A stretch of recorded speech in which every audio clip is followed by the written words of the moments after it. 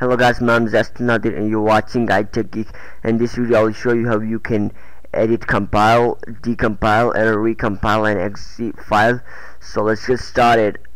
So first you'll be needing a resource tuner or you can use resource hacker but it's a resource editor which can also unpack an exe file if it's encrypted so it's better to use and it's very easy.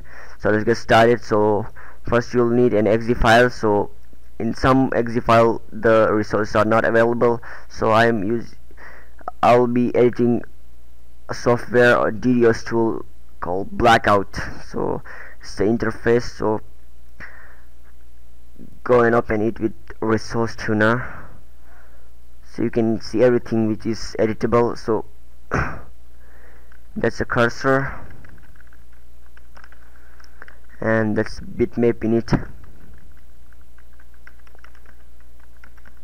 That's the icon. That's the string table. And in the RC data everything is there.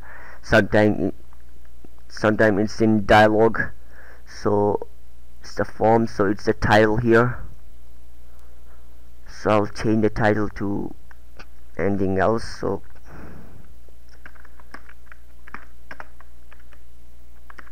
Black DDoS it's blackout so. That's the background image I'll show you. That's some background images here. So so here are the attack types TCP UDP and ICMP and HTTP all are here and group box 2 here is nothing here. And the get get IP get IP button here. And the host.txt file here and then here's the description written here. So I'll change it to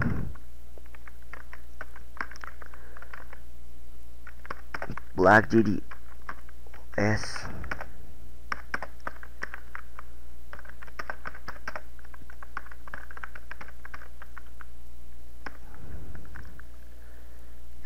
so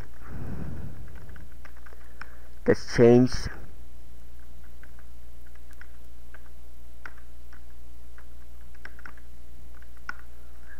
and that's the blackout. That's so I'll change it to attack.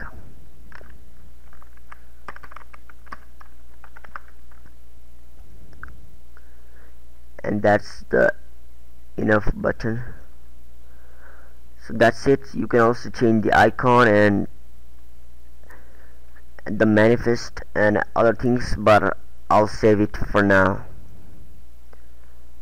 Close it and then ctrl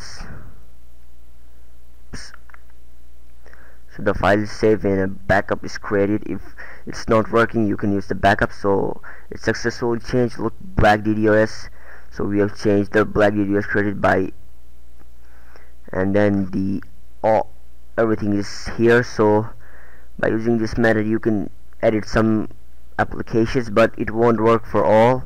So it will work for some tools which are which have resource resources available in them. So that's that's it for today. I'll meet you in the next video. So don't forget to like comment share and subscribe to our channel for more videos.